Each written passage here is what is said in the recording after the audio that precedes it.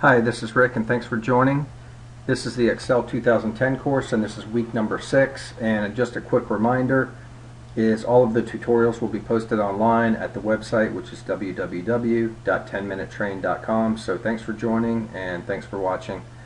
I'm going to jump right in here into week number six material and week number six material is um, we're going to do charts. We're going to do a bar chart example, a line chart example. We're going to do a pie chart. Um, we're going to do a Gantt chart. That'll that'll be part number two, I think. And then we're going to talk about drawing um, and uh, inserting uh, clip art into Excel and using Smart Art and things like that. So with that said, I'm going to jump right in here. And the first thing I'm going to do, do, do is I think I'll create a bar chart. So what I want to do here is I want to grab the user's, the employee's last name, and grab their quarter one through quarter four sales. So how I do that, I just highlight that data, the mouse, drag it down, select that area.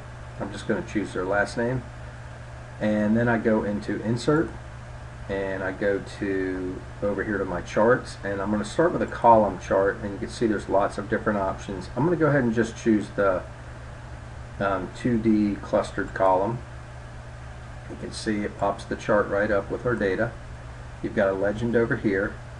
A um, couple quick things that you want to do here or options is you can change the border, you can change where this is, you can change the layout of, of the chart. So what we're going to do is we're going to do a couple quick things. When you highlight the chart, you'll see that the Chart Tools button comes up here. So anytime it's not there, just go ahead and click up, click on the chart, and it should pop back up. And then, um, and then you can go into lots of sub options underneath there. So for example, if you wanted to change it to a different style or layout, you could click right here. You could change it. Um, so you can experiment with those. You can go in here, you can change the data, you can change the style, so I can go over here and change it like that. I'm going to go ahead and just change it back to that default one. And then what I can do is I can go into layout and I can go into, like for example, I can go into chart title and you can put the title any, you know, lots of different places. I'm going to do above chart and I'm going to call it, I'm going to highlight it and say sales totals.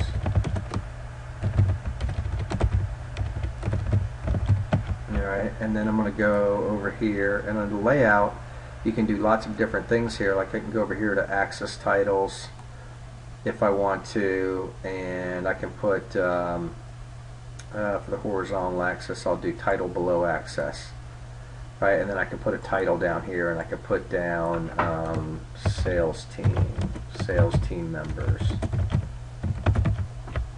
right? Or I could, or I could get rid of that, you know. So I just wanted to share with you and show you some options. And over here, you could put, you know, a, a title over here for the axis titles. We did the horizontal. We could do vertical and do the same thing. Um, for the legend, um, right now you've got show legend at right. You could show it at the top right here you could um, show it. I'm going to go back to the right. I'm going to leave it as is. And then um, the other thing you can do is you can go in over here and you can change the data labels. Um, you can do lots of that. So we'll, we'll experiment a little bit in the in the other ones in the other charts also. Uh, what else do I want to share with you? You can also go under the um, format option here and you can change the um, you can change the the style of it here. You can see it's changing as I hover over these word art styles. And you can choose from these defaults or you can go in and do things on your own. Um, you can go ahead and change you know any of these parameters here.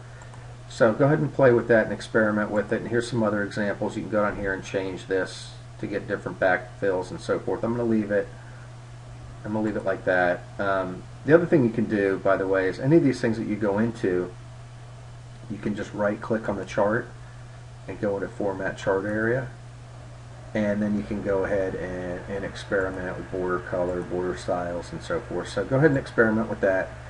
So that's an example of a bar chart. Now what I might want to do is I might want to do a line chart and I might want to take the salespeople and their total sales rather than their quarterly sales. So now I can go over here, I can highlight this row for the salespeople and then I can hold down the control key and now I can go over here and choose the total sales column and just choose those two and now I go back and I can say insert and I'll do a line chart and I'll do a there's lines markers, lines without them. So I'll do the I'll do the one with markers initially. Alright, I'm going to move that down there. So I can do the same thing here. I can go over here and I can I can highlight that. I can get rid of that. Um, I can go over here and I can I can um, modify the title if I want to. I can put down um, I say end of year sales.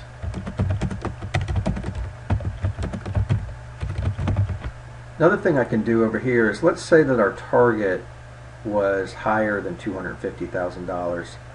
So what I can do, let me close out of that for a second, let me highlight this again.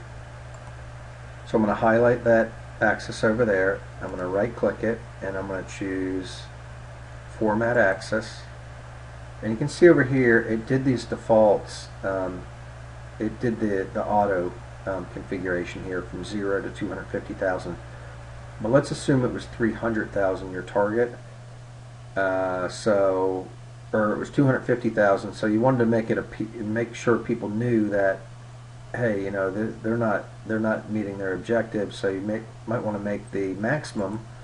You can change it from auto to fixed and I can go over here and I can change that to 350,000 and I can click close and there you see now the chart changed. So now they can see okay hey I'm not near the top of the chart.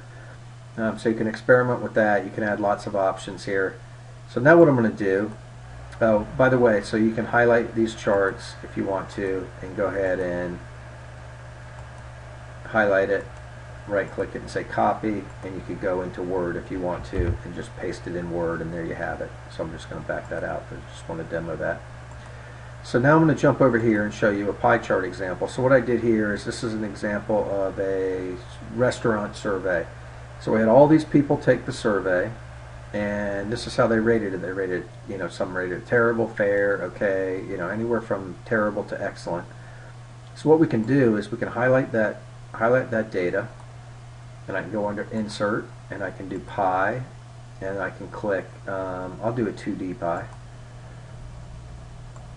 and then we go over here and now I can do a couple different things here. I can go in over here.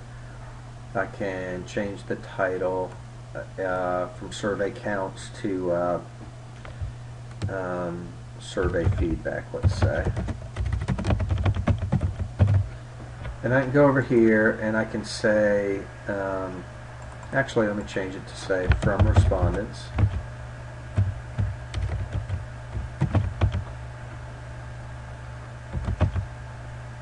Out of that? So what I can do over here, I can highlight the pie chart itself. I can go to layout and I can go to data labels. And what I can do here is I can change it to a different option. Like right now they're turned off, but now I can say, let's say outside end and that'll tell you how many people um, responded within that category. So 13 said it was good, 3 said it was um, terrible, 3 um, and so forth.